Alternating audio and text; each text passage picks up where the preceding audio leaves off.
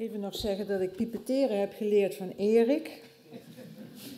Toen ik uit de diergeneeskundige kliniek stapte met een omgekeerde handschoen met koeienmest.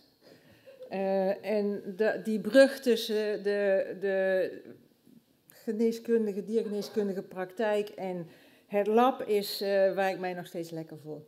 Dus wat ik ga doen is, uh, ik ga een overzicht geven van waar we de, de, ontwikkeling van deze uitbraak en hoe wetenschap kan helpen om een aantal cruciale vragen die er zijn, gaande de rit, mee op te lossen en op die manier proberen de bestrijding te ondersteunen. Dat is waar we het voor doen. We beginnen bij het begin met de, het uitzonderlijke van deze epidemie. Nooit eerder zo vertoond dat alles, werkelijk alles, eerst via media, social media verschijnt en dan via de gangbare circuits, de meldingen aan de WHO, het RIVM.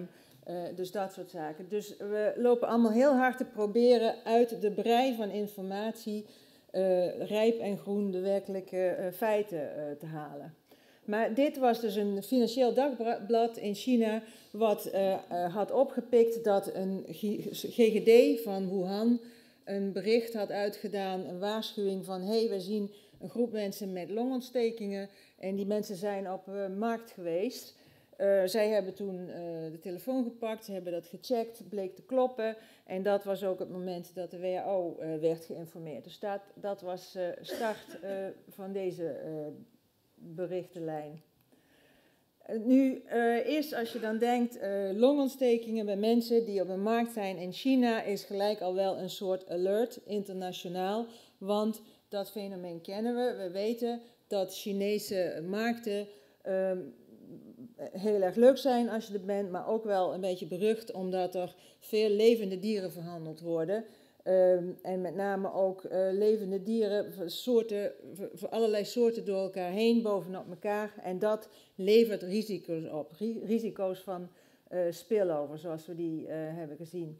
Dat weten we ook omdat er allerlei studies gaande. Dit is een, een plek waar wij zelf ook zitten.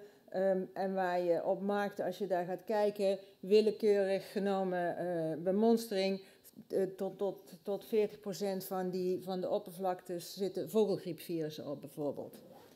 Een beetje een, uh, een risicoomgeving. Nou, laten we e-, even kijken naar deze situatie. Dus we beginnen met die uitbraak. De eerste melding, we zitten hier, 27 personen gelinkt aan die markt. Dat, dat aantal neemt langzaam maar zeker een beetje toe, niet heel hard, totdat het bericht komt, hé, hey, we hebben een verklaring, het is een uitbraak van een nieuw coronavirus. Nou, dan weet je ook meteen dat je kunt uh, vaststellen wie het wel en wie het niet hebben. Dus je zag de aantallen weer even terugzakken. En drie dagen daarna werd de, de informatie inderdaad ook gedeeld. Online, niet eerder vertoond door Chinezen, echt uh, razendsnel. Um, en bleek inderdaad dat het ging echt om een, een voor mensen nieuw coronavirus.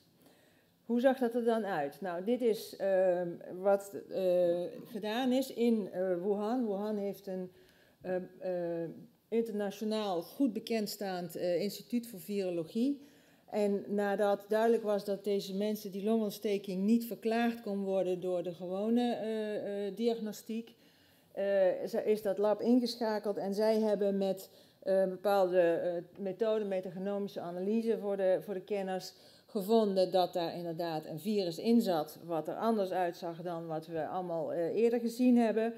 En hebben vervolgens ook dat virus gekweekt. Je kunt de plaatjes inmiddels herkennen.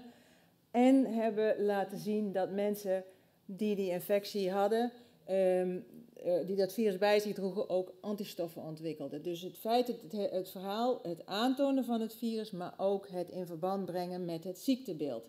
En dat, er is uh, veel gespeculeerd over het, uh, hoe lang het allemaal geduurd heeft. Maar dit is in die paar weken tijd eigenlijk een geweldige prestatie. Heel mooi gedaan, vond ik zelf. Um, maar en het voordeel wat, van dat onmiddellijk delen, wat dus tijdens de SARS-periode veel langer heeft geduurd, is dat als je die genetische informatie kent, dan kun je ook de eerste diagnostische testen gaan maken. Want dat was natuurlijk al snel uh, uh, oproep van nou, we moeten zorgen dat we in ieder geval als dit soort patiënten zich zouden voordoen, ook internationaal, dat we in staat zijn om vast te stellen of iemand die infectie heeft. En dat is in Europa eigenlijk goed geregeld. We hebben een aantal uh, netwerken waar al jarenlang in geïnvesteerd is en die heel snel in staat zijn om samen zo'n test in elkaar te klussen als je één keer die gegevens hebt, die genetische gegevens hebt. Dat is hier ook gebeurd. Dit, uh, dit was het virus.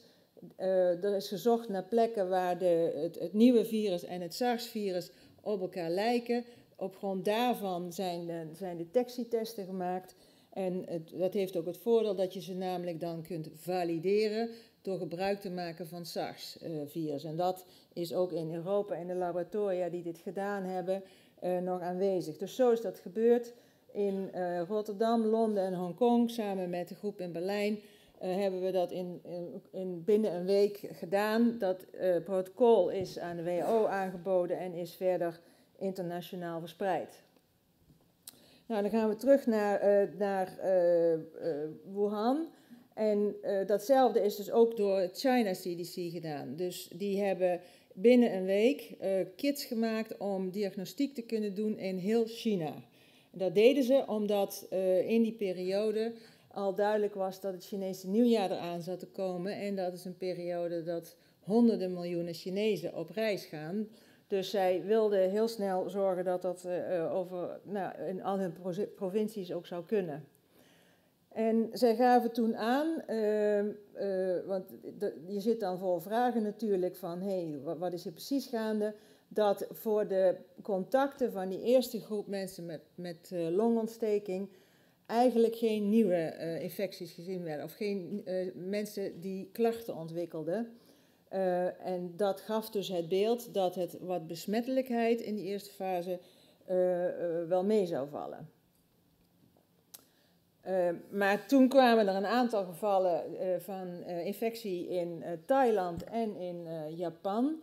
En dat was gek. Dat was eigenlijk het signaal voor een groep modelleurs van het Imperial College, die, zei, die zeiden van wat is nou statistisch gezien de kans dat als je maar zo'n kleine groep zieken hebt in een miljoenenstad, dat er van daaruit naar meerdere landen gevallen zijn. Dus, en dat was de eerste modelleringsstudie die zei dat kan eigenlijk gewoon niet. Er moeten veel meer, ehm, sorry, er moeten veel meer patiënten al zijn.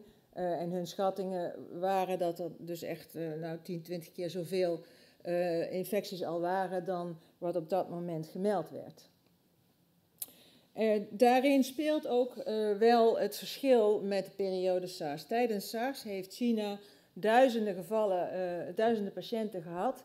Maar de internationale verspreiding is niet uit China gebeurd, maar via Hongkong en vanuit Hongkong naar uh, een aantal landen uh, over de wereld. En dat is nu een heel ander beeld. Dit is de toename, ongeveer een vertienvoudiging van het vliegverkeer van China in de periode sinds SARS. En daarnaast is er een enorm hoogsnelheidstreinnetwerk ontwikkeld. Dus de mobiliteit in China is enorm veranderd sinds die periode van SARS. En dat speelt mee in de, de veel snellere verspreiding hier. Nou, dat, die informatie is ook gebruikt weer door modelleurs om te kijken van waar, als wij zien dat mensen zo op reis gaan, zeker rondom dat Chinese nieuwjaar, waar gaan mensen allemaal heen? En dat kan in China dus vrij gemakkelijk. Er is, wordt vrij ongegeneerd van alles gevolgd wat mensen doen. En dat heeft zo zijn voordelen in dit geval. Um, en dit zijn dus projecteringen van waar gaan vanuit uh, de kennis over reisverkeer vanuit Wuhan, waar gaan wij gevallen zien? Dus dat hebben ze gedaan voor steden en provincies elders in China. Maar je ziet al dat dat heel snel, de voorspelling was dat het over een groot deel van China zou zijn. En datzelfde is ook gedaan voor bijvoorbeeld Afrika. Daar is veel discussie over. Hè? Mensen zeggen van, er moet toch al lang uh, ook uh, dit virus in Afrika zijn, dat wordt gemist. Uh, en toch, als je die modelleringen ziet, dan zou dat wel eens mee kunnen vallen, want er zijn inderdaad veel connecties tussen China en Afrika, Maar dat zijn eigenlijk drie grote groepen die vanuit andere regio's in China komen dan die centrale provincie Hubei, waar de, de, de uh, bulk van het probleem uh, aanvankelijk speelde. Dus als je dan ook kijkt naar, uh, dus hier bijvoorbeeld de landen met connecties met Fujian. Fujian heeft nu net een kleine 300 gevallen. Dus de risico's, de kans dat daar iemand uit geëxporteerd wordt, is ook helemaal niet zo hoog. Dus het zou echt wel eens zo kunnen zijn dat er inderdaad nog niet heel veel gevallen in Afrika zijn. Maar goed, we hebben dus uh, te maken met een voor mensen nieuw virus. En deels ook omdat we eerder dit soort introducties hebben gezien, uh, denk je dan meteen natuurlijk aan een spillover. Een uh, zoonotische introductie van een virus uit een dierreservoir wat nog niet helemaal duidelijk is. En dan komen er meteen een hele serie vragen uh, achterweg. Uh, en die zijn eigenlijk bij elke uitbraak hetzelfde. In die zin zou je erop kunnen voorbereiden. Dus wat is het precies? Waar komt het vandaan? Uh, hoe ver is het verspreid? Hoe ernstig is het? Is het besmettelijk? zijn mensen wellicht deels bes beschermd en is het te stoppen? Want de vraag is dus, zijn dit nou infecties die nou ja, met wat, met wat transmissies uiteindelijk nog te stoppen zijn? Of gaat dit doorontwikkelen naar iets wat volledig tussen mensen kan spreiden? En dan heb je dus ook potentieel iets wat tot een wereldwijde verspreiding kan uh, komen en een pandemie. Nou, eerst maar beginnen bij het begin, de bron. Er is veel speculatie geweest over, is dit niet iets wat al veel langer speelde? En wat onder de pet is gehouden. Nou, daar kunnen we uh, aan de viruskant uh, wel iets over zeggen door te kijken naar de genetische informatie. Dus er, is, uh, er zijn virussen genetisch in kaart gebracht van de eerste groep mensen. En als je dat dan doet, kun je kijken, een soort stamboom van maken en dan kun je terugrekenen uit welk, vanuit welk moment zijn die ontstaan. Dat heet een time to most recent Common Ancestor Analyse. En uh, die zegt van nou, die komt eigenlijk tot de conclusie, uh, al die virussen van die verschillende mensen, die komen samen op een punt ergens eind november, begin december. Dus helemaal niet zo lang geleden. Uh, dus dat past eigenlijk bij het beeld dat dit een, een vrij recent ontstaande cluster is. Die, die bron, nou daar heeft Erik het al over gehad. Uh, aannemelijk dat ook deze iets met uh, vleermuizen te maken heeft, in ieder geval van origine, maar mogelijk met een tussengastheer, net als bij uh, MERS en net als bij SARS. En dit zijn dan de kandidaten, met hier de hoefijzer neusvleermuis, die, wie kent hem niet, die echt anders is dan wat bij Jinek is vertoond. Um, en die hier zit, dus hier zit het, uh, het, het uh, nieuwe coronavirus. Hier zit het virus van deze, wat in deze diersoort gevonden is. En dit is weer die pangolin, waar gisteren een publicatie van verschenen is. En dat virus zit hier. Dus dat zit nog net iets dichterbij, afhankelijk van hoe je er naar kijkt. Maar die virussen zijn allebei nog steeds dusdanig verschillend. Daar kan nog van alles tussen zitten. Dit is niet bewijs dat de een of de andere de, echt de directe uh, bron is. Dus dat weten we nog niet. Er zijn wel ook allerlei andere theorieën die nog, ont, uh, die nog verder onderzocht moeten worden. We hebben de slangen-origin, het lab in Wuhan, de meteoriet. Ron heeft het gedaan. En de, mix met HIV. En al deze zaken die zijn inmiddels wel debunked. Ook dat zie je volop uh, op eh, social media gebeuren. Het is eigenlijk wel een fenomeen om te volgen, uh, eerlijk gezegd. Wel, als we even kijken, want een, een soort uh, groot gemene deler bij al die uitbraken is dat, dat er vaak wel iets gebeurt aan de dierkant, waardoor het risico op spillover toeneemt is dat hier uh, kennelijk een enorme handel is in die uh, bedreigde diersoort, de pangolin. Uh, hij wordt veel gegeten, is daardoor steeds zeldzamer en moet daardoor van steeds grotere afstanden gehaald worden. En dit is een reconstructie van een mogelijke route waarlangs die dieren allemaal richting borden in Vietnam en China verdwijnen. En ik heb begrepen dat voor een beetje pangolin 350 dollar wordt neergeteld in restaurants in Vietnam. Dus dat is echt wel, dat heet een delicatesse.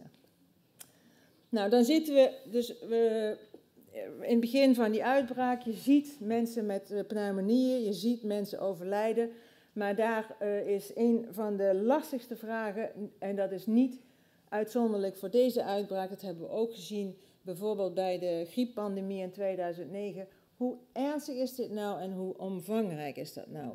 En dat is een hele lastige vraag, met name voor wat betreft uh, hoeveel mensen hebben nou eigenlijk milde klachten, want die zie je niet. Die komen niet bij de dokter, daar wordt geen uh, diagnostiek uh, op gedaan en daar moet je specifiek onderzoek voor doen om dat in beeld te krijgen. En onderzoek doen tijdens een uitbraak, zie er maar eens tijd voor te vinden, niet waar Aura? Dat kost heel veel tijd om dat op te zetten en die tijd is er vaak niet. Dus, dus vaak zie je dat dit soort informatie pas eigenlijk vrij laat beschikbaar komt.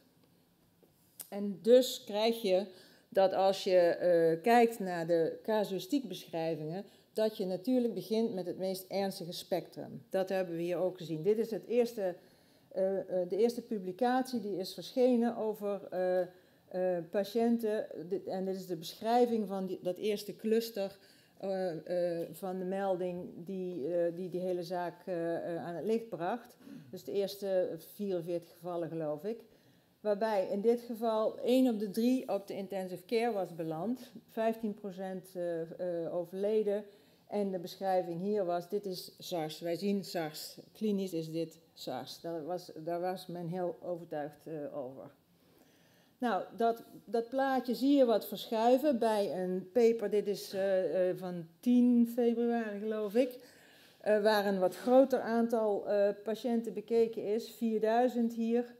En wat je dan vooral ziet ook dat het, het, de case fatality rate, het percentage van de patiënten wat overlijdt, dat dat al wel duidelijk aan het afnemen is. Dus dat was 15% in dat eerste paper, dat is hier duidelijk lager. Je ziet dat mannen grotere problemen hebben dan vrouwen om een of andere reden.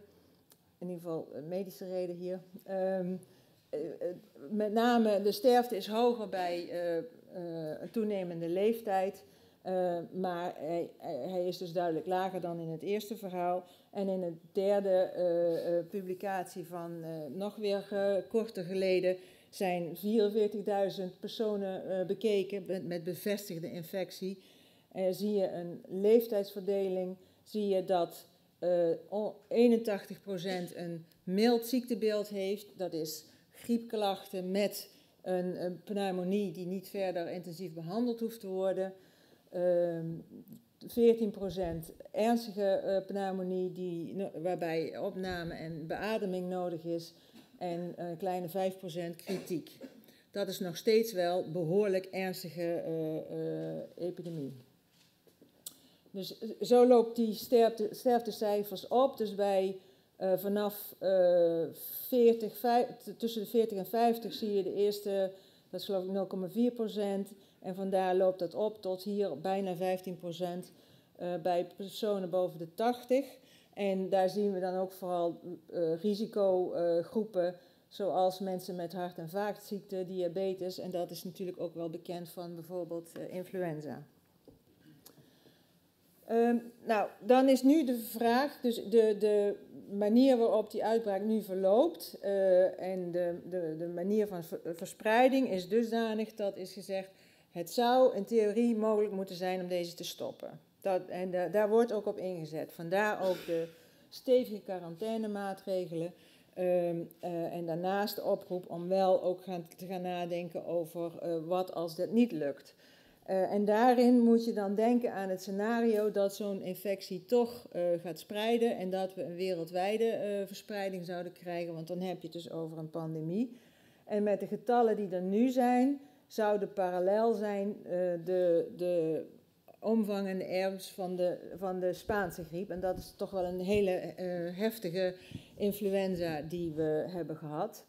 Ehm, waarbij het, wel het grote verschil is dat de leeftijdsverdeling van waar sterfte zit, die is hier heel anders. Maar dat is nu uh, de vraag van wat als dit virus verder zou gaan spreiden, waar kun hoe ernstig gaat dit zijn? Gaan die getallen verder omlaag of moeten we toch rekening houden met een soort heel stevig uh, nou, Spaanse griepachtig scenario? Verspreiding heeft uh, Erik het ook al over gehad. Met wat we nu weten wordt uitgegaan van druppeltjes. Um, uh, die, en en het beleid is eigenlijk ook, dat vertelt Aura straks wel wat meer over, dus ook afstand van mensen met dit soort fenomenen. Maar dat lukt natuurlijk niet altijd en overal. En er is in toenemende mate nu ook de vraag of er iets van verspreiding via ontlasting kan zijn. Dus met, met, omdat er wel ook virus in ontlasting van mensen wordt gevonden. En we weten bij SARS dat dat onder sommige omstandigheden kan. En dat wordt met name vanwege de situatie op het ene bepaalde cruiseschip nu gedacht.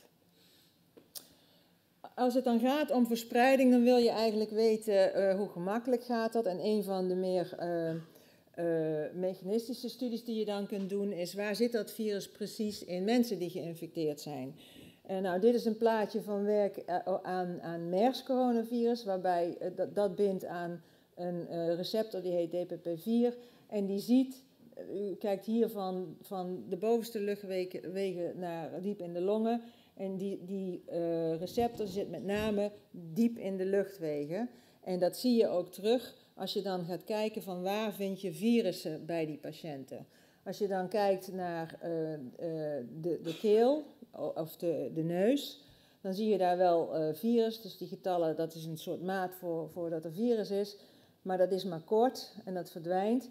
Terwijl dieper in de longen veel langer dat virus nog aanwezig is. Maar als je dat ziet, dan zeg je nou, zolang het diep in de longen zit en mensen niet hoesten, dan uh, is dat waarschijnlijk niet zo heel besmettelijk. En hoe dat voor dit virus zit, uh, dat is nu een van de vragen. Dus dat betekent ook dat je iets vergelijkbaars wilt gaan doen. En dat zijn studies die nu ook gaande zijn. Hier met een plaatje bij ons uit het lab, waarbij in nagebootste mini-orgaantjes gemaakt van verschillende delen van die luchtwegen gekeken wordt waar repliceren die virussen nou het meest efficiënt. En dat doe je om te proberen te snappen wat, wat nou maakt, wat nou bijdraagt aan die besmettelijkheid. Iets vergelijkbaars is uh, als je het hebt over uh, het omvang van verspreiding in kaart brengen. Daarvoor heb je studies nodig waarbij je ook kunt zien of mensen blootgesteld zijn, of mensen antistoffen hebben. Dus daar zijn bepaalde testen voor nodig, die worden nu gemaakt. En dat zijn testen waarbij antistoffen gemeten kunnen worden tegen dat, dat spike, eh, dat uitsteeksel, hè, dat spike-eiwit, wat Erik net heeft uitgelegd. En die heeft een paar onderdelen, de bovenkant en de onderkant. En je kunt dus in patiënten zien, deze patiënt die heeft duidelijk uh, antistoffen ontwikkeld tegen dit, dit, gedeelte. En hier zie je wat gebeuren tegen een ander deel van dat uh, spike. En dat is het soort van testen wat nu heel snel ontwikkeld wordt om bijvoorbeeld ook uh, in huishoudens te kunnen gaan kijken hoe ver verspreidt dit virus nu precies. En daarmee dus ook die mate voor uh, besmettelijkheid wat scherper te krijgen. Dit is waar we staan. Uh, eh, 98,5% van de gevallen zitten in China. Um, en daar lijkt een beetje een, uh, de boel wat af te buigen. Hoewel de cijfers wat lastig te interpreteren zijn, omdat de definities uh, soms veranderen. Um, dus daar gaat het op zich goed. En in, sorry, eh, in Europa zie je ook dat, dus we hebben een, een aantal reizigers in Europa uh, gehad met deze infectie, met van daaruit ook enkele uh, contactinfecties. Maar dat is uiteindelijk wel tot nu toe goed tot staan gebracht met het soort van maatregelen waar Aura over zal vertellen. Dat gaat wat minder goed op een paar plekken die op dit moment wel een beetje zorg zijn. Uh, Japan, uh, Korea en in Iran, waar uh, toch wat moeilijk te duiden infecties nu zijn. Dus daar is echt serieus werk aan de winkel om te zien of dit daar kan stoppen. Nou, wat, wat op dit moment gebeurt, dus de inzet is nog steeds echt op containment, maar intussen is wel ook door modeleurs, op advies ook van de WO, wordt gekeken naar wat als dat niet lukt. En, en wat zijn met, met de gegevens die we nu hebben over de mate van verspreiding en de ernst, wat zijn de scenario's waar we ons misschien op moeten voorbereiden. En het lastige is dat ook zij nog steeds met veel uh, onbekende, uh, onbekendheden moeten werken. En dus daarom heb ik dit, deze publicatie er nog even bij gepakt. Waarbij ze zeggen, afhankelijk van wat we aannemen, wordt dit een hele heftige epidemie of het stopt. Zover zijn we. Dus dat kan de wetenschap ons bieden. Goed hè? Dus daar, daar wil ik het uh, voor nu even bij laten. Dit, uh, ik wil ook even laten zien dat heel veel mensen hiermee bezig zijn, nationaal en internationaal. En ook dat um, toch ten opzichte van een jaar of tien geleden er wel in, flink is geïnvesteerd, ook in, met Europese onderzoeksgelden, in het ontwikkelen van uh, kennis over dit soort infecties. Dus we zijn beter af dan tijdens SARS, denk ik. Maar de, de zaak is wel om inderdaad, ook als dit weer een beetje uh, uitdooft, om die aandacht vast te blijven houden.